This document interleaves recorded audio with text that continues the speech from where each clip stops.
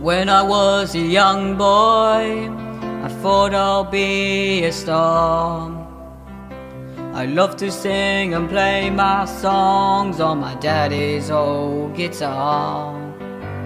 Now I'm a little older and nothing's really changed. I sing my favorite songs just the same. I always love my music and the way it makes me feel. I always wanna sing my songs each day.